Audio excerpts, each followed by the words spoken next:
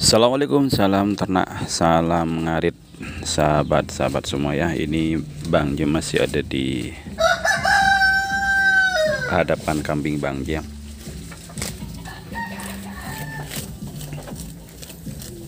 Oke, di kesempatan ini kita akan sedikit membahas tentang cara agar kambing cepat gemuk kawan ya jadi cara yang dilakukan oleh peternak tradisional dan juga peternak modern kawan.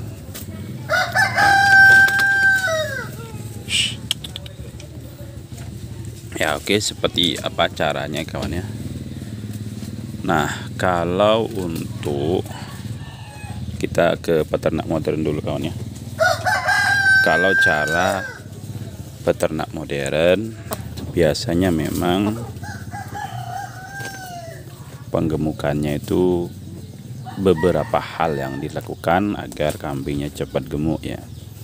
Di antaranya biasa menyediakan obat. Ada ayam nih ya menyediakan obat atau vitamin yang dibutuhkan kambing. Dan pakannya hitungan hitung hitungan pakannya itu juga lengkap dari mineralnya, proteinnya, apa kalsium atau apalah yang lain ya Bang J kurang paham ya kalau untuk racikan pakan ya. Jadi itu biasanya racikan pakannya itu sudah lengkap kawan ya. Sehingga dalam pemberian pakan itu biasanya menggunakan takaran.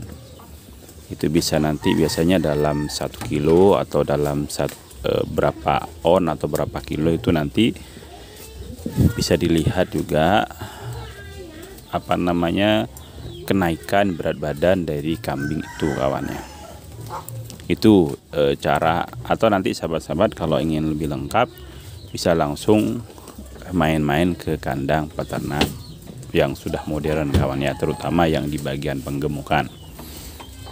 Nah oke sekarang ke penggemukan atau kambing peternak tradisional bisa cepat gemuk itu bagaimana kawan ya?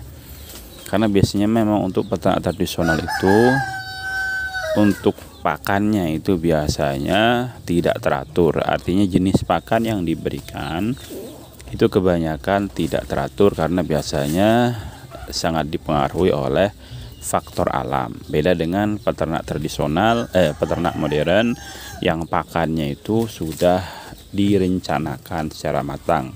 Jadi jenis dan pakan jenis dan macam-macam pakannya sudah direncanakan secara matang bahkan juga sudah menyediakan lahan untuk pakan kambingnya. Sementara peternak tradisional itu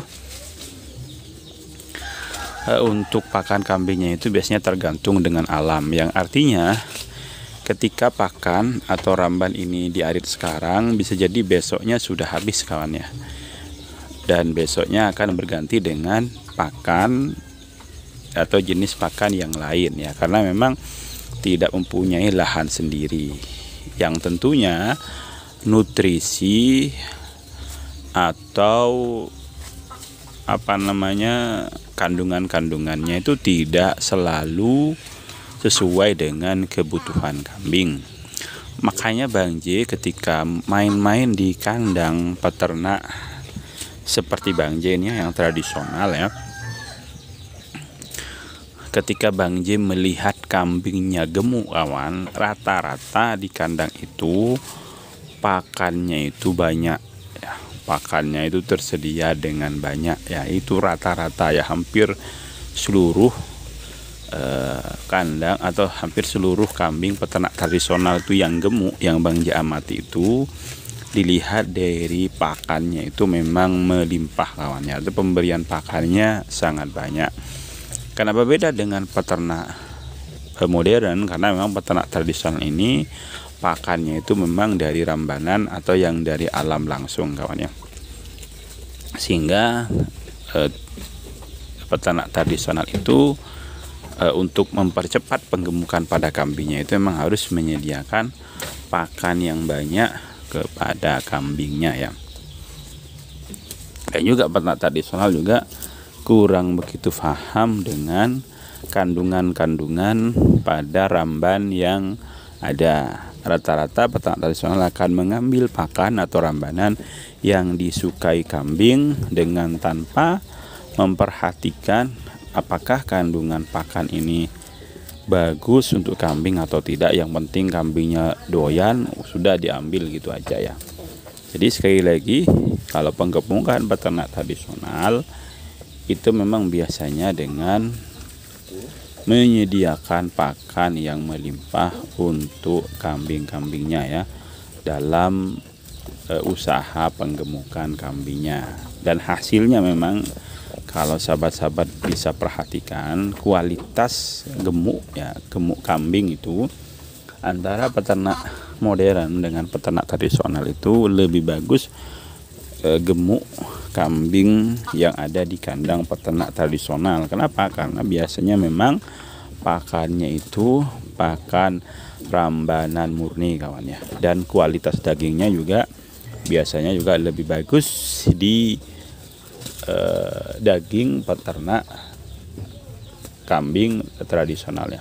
Oke ini dulu ya infonya semoga bermanfaat.